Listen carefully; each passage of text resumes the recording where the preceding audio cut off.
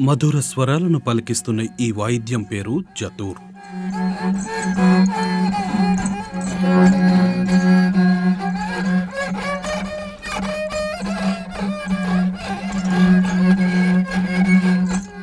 చూడ్డానికి మెట్ల కిన్నెరను పోలి ఉంటుంది.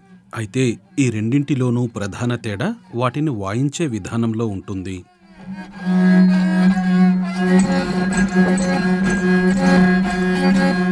ఇప్పుడు ప్రాచుర్యంలోకి వచ్చింది మెట్ల కిన్నెర. కానీ మెట్ల కిన్నెరకి జత్తూర్కి ఉన్న డిఫరెంట్ ఏంటిదని అంటే మార్పు ఏంటిదని అంటే మెట్ల కిన్నెరని ఒక వేలితో వాయిస్తాం. ఒక వేలుతో వాయిస్తూ ఉంటాం. కానీ జత్తూరిని అట్లా కాదు. దానికి ఒక కుజ్జాని ఉంటుంది. ఇగో ఇది దీన్ని దీన్ని అంటాం మనం ఇది ఇది. కుజ్జా అని చెప్పేసి ఉంటుంది. జతూర్ ఆదివాసీ సంగీత వాయిద్యాల్లో అంతరించే దశకు చేరే జాబితాలో చేరింది దీన్ని స్వయంగా తయారు చేసి వాయించగలిగే నైపుణ్యం ఆదిలాబాద్ తోటి ఆదివాసీ తెగకు చెందిన కుమ్రలింగుకు ఉంది. గోండ ఆదివాసీల చరిత్ర సంస్కృతి సంప్రదాయాలు మౌఖిక సాహిత్య రూపంలో ఒక తరం నుంచి మరో తరానికి అందాయి. కుమ్రలింగు గత యాభై ఏళ్ళుగా జతుర్ వాయిద్యంపై ఆదివాసీల చరిత్రను ముఖతా వినిపిస్తున్నారు. గంటాలు మోగాలు గంగెతు కెరుపాటు గంటాలు మోగాలు గంగేదు పెరుపట్. ఉరు చుట్టూ తిరిగేటి గాడికి ఎగజెరక జ్ఞాన మెరుగు జ్ఞాన మెరుగు సుజ్ఞానుల కెరుక. జ్ఞాన మెరుగు. మిగతా ధర్మాలకు ఆదివాసుల సంస్కృతికి చాలా విభిన్నంగా ఉంటుంది. ఇప్పుడు ఆదివాసులు ఏదన్నా తెలుసుకోవాలనంటే పాట రూపకంగానో లేకపోతే కథ రూపకంగానో దాన్ని చూసుకోవాల్సి వస్తుంది.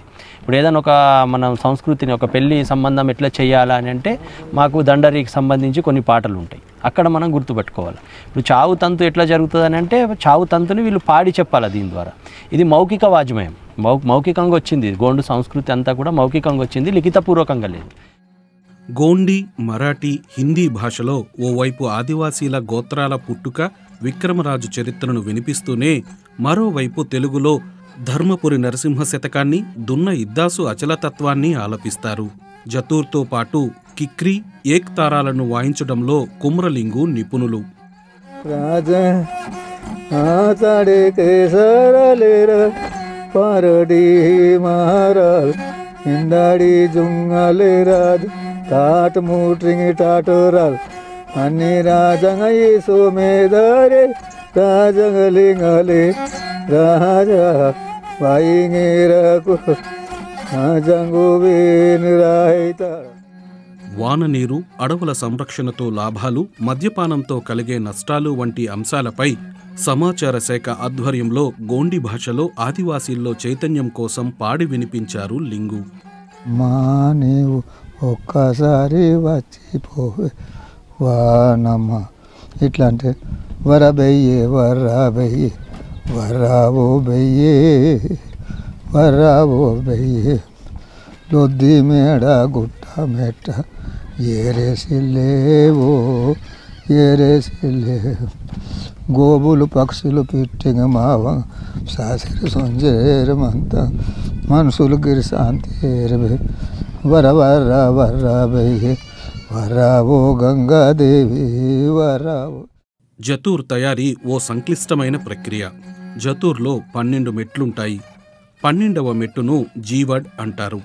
ఈ వాయిద్యంలో స్వరాలను పలికించే తంత్రులుగా లోహపు తీగల స్థానంలో గుర్రం తోక వెంట్రుకలను ఉపయోగిస్తారు. ఇందులోని మూడు తంత్రులను గుర్రం వెంట్రుకలతోనే చేసిన కుజ్జాతో మీటుతారు.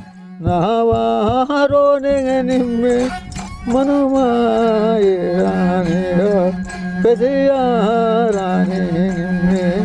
పెదియారాణి ముందే రమైన మళ్ళీ ఈ వాయిద్యానికి ఉన్న ప్రత్యేకత ఏంటంటే ఏది కూడా ఆర్టిఫిషియల్గా తయారు చేసింది లేదు. ఇదంతా కూడా న్యాచురల్ ప్రకృతి సహజంగా దొరికిన వస్తువుతోటే దీన్ని తయారు చేయాలా? అది కూడా సొంతగా తనే తయారు చేసుకుంటాడు. అంటే మా పెద్ద మనుషులు తరాల నుంచి తయారు చేస్తారు ఇది వెదురు బొంగు. ప్రకృతిలో దొరికేదే. ఈ కట్టే ప్రకృతిలో దొరికేదే. ఇది కూడా ప్రకృతికి సంబంధించింది. దీంట్లో మైనం ఉంటుంది. మైనం ఉంటుంది గుగ్గిలం ఉంటుంది. మళ్ళీ మనం అది ఇది తాంబేలు తాంబేలుకు సంబంధించిన అది కప్పు కూడా ఉంటుంది కదా ఆ కప్పుకు సంబంధించి. మళ్ళీ దీంట్లో ఒక సిస్టమ్ ఏముందంటే సార్ మన దగ్గర బ్రతికున్నప్పుడు దాని యొక్క ఏది కూడా తీసుకోరాదు. అది చనిపోయి వదిలిపెట్టిన తర్వాతనే తీసుకోవాలి. అంటే దాన్ని హింస చేయరాదు అని చెప్పేసి దాన్ని చంపరాదు. చనిపోయిన తర్వాత ఎక్కడైనా వదిలేసిపోతుంది కదా అప్పుడే దీన్ని తీసుకొని వచ్చి తయారు చేయాలి? తోటి ఆదివాసీ తెగలో ప్రస్తుతం జతూర్ను నిర్మించి వాయించగలిగే ఆఖరి తరం వ్యక్తి కుమ్ర లింగు ఒక్కరే. మా నాన్న పాటలు పాడుతుండే మా నాన్నతోనే కళ మొత్తం పోతున్నది. మా ఇంట్లో అయితే ఎవరు నేర్చుకోలేదు. కళ మొత్తం పోతున్నది. జత్తుడు కూడా పోతున్నది. అంతే.